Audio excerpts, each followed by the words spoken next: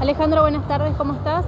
Bueno, Alejandro sos el quien está a cargo de la Escuela de Taekwondo de Los Altos, quien vino a la delegación a competir aquí en el torneo interprovincial de Taekwondo de Catamarca 2023.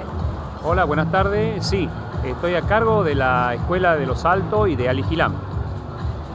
Bueno, ¿qué nos puedes comentar de este torneo que se está desarrollando aquí en el Polideportivo Capital, que viniste con la delegación?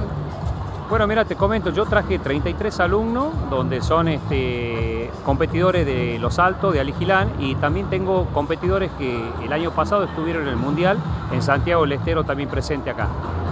Eh, bueno, ahora nos estamos preparando eh, para el torneo que se viene en La Rioja el día 19 y como bien escuchaste hace rato, la invitación que se va a hacer en Villa Carlos Paz. Eh, la escuela esta se está dando clase en el polideportivo. Bueno, le agradezco mucho al señor intendente Raúl Barot, eh, a la comisión que trabaja con él. También se difunde en Aligilán y al coach que está hoy presente, que es eh, Marcelo Guzmán. Bueno, como mencionaba recién, dentro de la delegación de ustedes tienen chicos que han participado en el Mundial. Es decir, que el nivel es muy bueno, ¿no? Y mira, gracias a Dios, yo el año pasado tomé el mando de la escuela esta de Los Altos. Anteriormente tenía un alumno, dejó de enseñar, entonces eh, yo vengo desde Tucumán hacia Los Altos a dar clase y bueno, los preparé, como así también ellos eh, fueron a capacitarse en la provincia de Chaco, como en La Rioja y en San Miguel de Tucumán para poder estar en el estado que están en los que participaron en el Mundial. ¿Cuántos de ellos son y de qué edades? ¿De qué categorías han participado?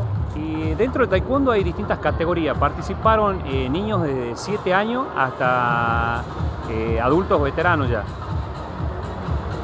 De los chicos que participaron en el Mundial, ¿qué nos puedes comentar?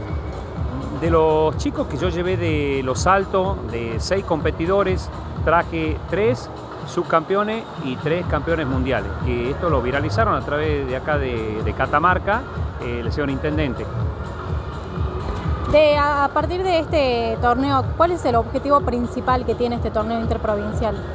Mira, el objetivo que nosotros tenemos es que los competidores vayan adquiriendo experiencia porque este año tienen un mundial en Kazajistán.